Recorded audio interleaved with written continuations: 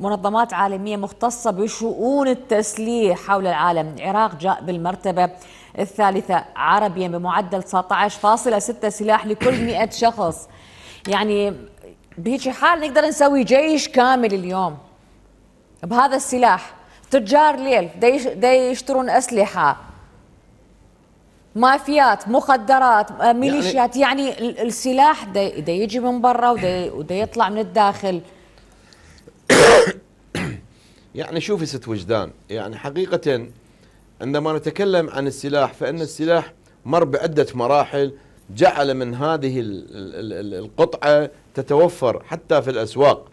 يعني بعد 2003 وما حدث في آه، العراق ومن فتح المشاجب وسرقة المشاجب السلاح والعتاد والأسلحة هذه كانت مرحلة. ومرحلة أخرى بعد 2014 في ظل الفوضى وإصابات داعش ويعني الكثير من السلاح الجيش آه، يعني قد ترك في أماكن وأيضا تم بيعه من من مكان إلى مكان. إضافة إلى ذلك نحن لدينا اليوم حدود يعني غير مسيطر عليها حقيقة. هنالك حدود بدي يعني منافذ بديلة للمنافذ الرئيسية يتم من خلالها تهريب المخدرات ويتم من خلالها تهريب البشر ويتم من خلالها تهريب السلاح. كل هذه المعطيات يعني جعلت من أنه العشائر عندما نتكلم آه، البصرة أو ميسان أو ذي قار لأن هذه المناطق هي تكون قريبة من الخط الحدودي بين العراق والدول آه، المجاورة. فلذلك عملية حصولهم على السلاح تكون عملية سهلة. فحتى الخلافات التي يعني نسمع بها في هذه المحافظات يعني نسمع أنه ليس خلافات على موضوع آه، قتل أو دم أو شيء من هذا القبيل.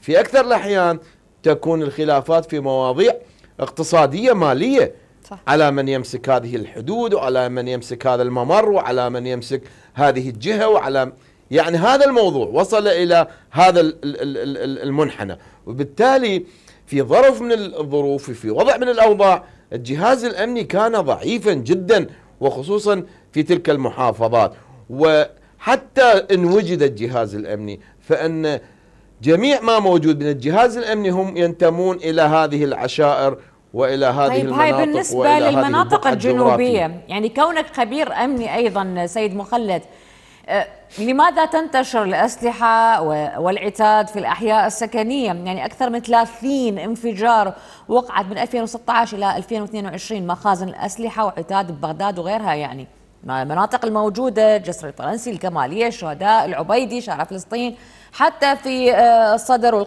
صدر القناة ومنطقة الزيونة والدورة. الشرطة الرابعة يعني بين الأحياء. وتذكر أنت من من 2016 إلى 22 كم انفجار صار؟ هاي بداخل الأحياء. إحنا يعني هذا السلاح الذي هذا السلاح الذي تتكلمين عنه يختلف عن سلاح العشار. م. هذا السلاح مثل ما تكلمت في مرحلة ثانية بعد 2014 وفي الحرب ضد داعش. هنالك الكثير من المجموعات امتلكت سلاح آه، قسم منها بحجة محاربة داعش وهنالك من ثم تم توحيد هذه المجموعات والفصائل في هيئة الحشد الشعبي لكن بقت هنالك مجموعات هي خارجة عن هيئة الحشد الشعبي وخارجة عن القانون. حتى في كثير من الأوقات أمن الحشد الشعبي كان يلقي القبض على بعض ال... وهؤلاء جعلوا من الأحياء السكنية يعني مخازن ومشاجب للسلاح الذي كانوا يحصلون عليها أكيد من من, من خارج الحدود. لأنه هذا السلاح الذي تم يعني العثور عليه أو تم في بعض الأحيان تم آه، احتراقه أو انفجاره هو أسلحة كانت حديثة. فبالتالي يعني تم الحصول عليه يعني بصورة آه، ليس السلاح القديم الذي نعم. تكلمت عنه. هذه هي المشكلة اللي أنا تكلمت عنها. هذه هذا الشق يجب أن يعالج سياسيا وليس عن طريق وزارة الداخلية. نعم.